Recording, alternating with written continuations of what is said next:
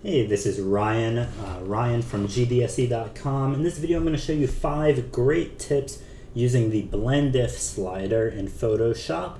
So to get started, this question comes up a lot, so I'm going to show it a couple of different ways. How can I make the background transparent? Is there an easy way to make the white background transparent? And the answer is yes. And it's using the blend if function. Now, keep in mind as I bring this into Photoshop, this is not the only solution, rarely is. It's not necessarily the best quality. The best will still be using masks and channels, but this will get you really close to the end goal, and then you can always use mask just to refine this.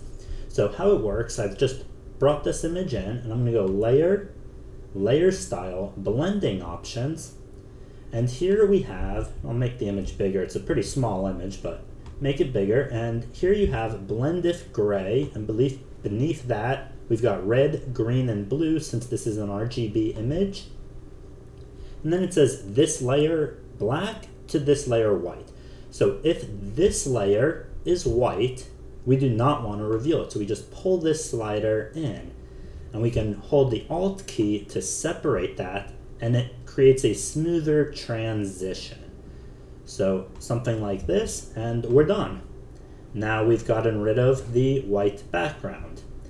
So in the next one, we're gonna do the same thing, except it's somebody asking, how do I blend a black background? How do I remove a black background?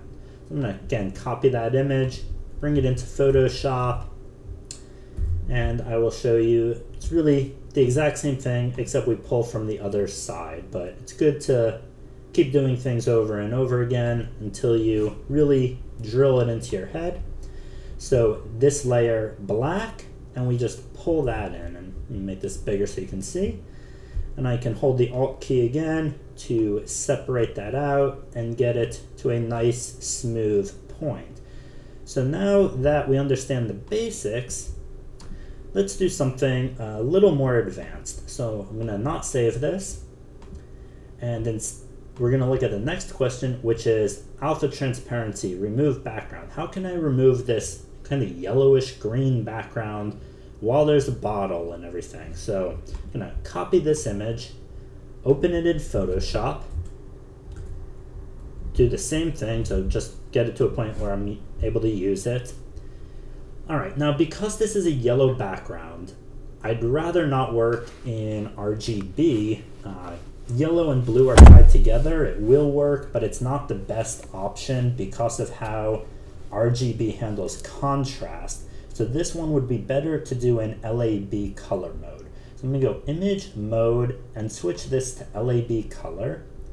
And now I'm going to do the exact same thing, uh, excuse me, layer, layer style blending options. If you've been following my other videos, you'll know that blend if and yellow and blue are in the B channel. So now I can just say if this layer is yellow, we want to get rid of it. So you can see I pull that in, separate it out. We really want to make sure we're just really removing the background. So probably something like that, maybe. Uh, I'll put it right there. That looks pretty good. Click OK. Now this still has a bit of a color cast, so I'll go ahead and fix that as well. Come in here, do a curves adjustment, and same area in the B channel. then we're going to use the eyedropper, and I'll put a point here, and we can see that point is at 50. So we want that, let me make sure that's on there entirely. There we go. So at 50, we want it to be closer to zero. So I'm just lowering that B down and pulling the yellow out. So we might not want it entirely at zero, but maybe, I don't know, five, six. So right now it's at seven, and that's fine. So I'll close that. But now you can see doing that affected the red ink. So to fix that, what I'm gonna do is image, or excuse me, layer, keep saying image, layer, blending options, and here's a bonus tip for you. And we're gonna go, we're on the curves when we're doing this. We're gonna go into the A channel, which is where green and red exist in LAB. But instead of saying on this layer, we're gonna say if the underlying layer is red, we do not wanna see this adjustment. So I can just pull this in, move this over. I'll do that again. So as I pull this in, you can see right about there, suddenly we no longer see the adjustment.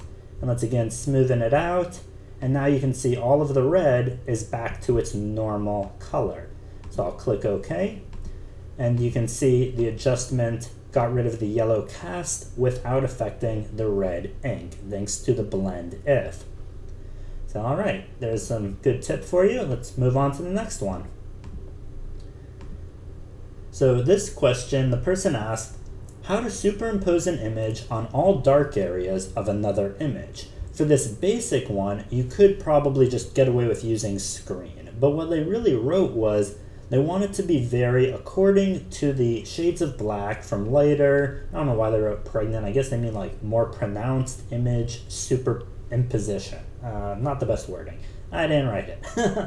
All right, so I'm gonna use these two images from Unsplash. So I will copy this, bring it into Photoshop, and I'll do the same thing with this one right on top of that. Now, if you haven't already figured it out, so I'll just rename this and rename this, and I'm actually gonna put the flower one on top. And now I'm gonna say, so if the guy is dark, we want to see the flowers. If it's light, so all the sky area, we do not want to see the flowers. So I'll come in here and I'm going to go layer, layer style blending options and say, you know, if the underlying layer is light, we do not want to reveal the flowers. And I'll pull out until the sky is gone. So right about there. And then again, hold Alt to soften that up and we're done.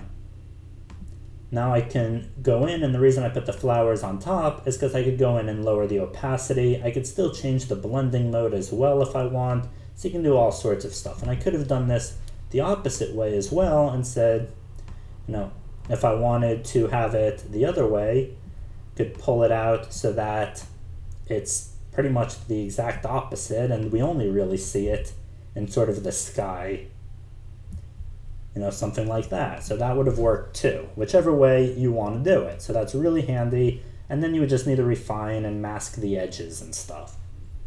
All right, so on to the fifth and final tip.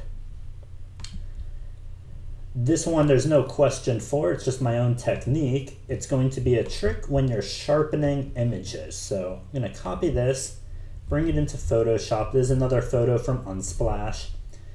And I'll actually crop this down because we don't really need all this dead space for what we're doing. Now I will go ahead and do a sharpening. So if you've watched my videos, you'll know I like to duplicate the layer, do filter, other, high pass, and just do a sharpening like that. Click OK. I did it pretty dramatically, but should be all right. Now, what you'll notice and this is what a lot of people refer to as harshness, is this white edge that appears. So when I switch this to linear light, it looks really harsh. And that occurs not just on the edge on the outside, but even you can see it kind of by her eyes, on her nose. You can see this lighter tone, right? So now we know how to fix that. So I'll do linear light, and before I do this, this way I can show you the difference, I'm gonna do a clone stamp. So this is how it looks, and I'll call this sharpen without blend.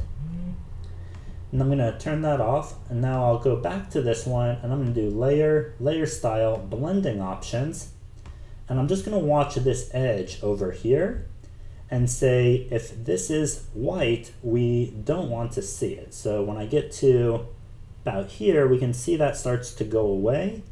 And then I'll hold the Alt to smoothen it out a bit. So something about like this.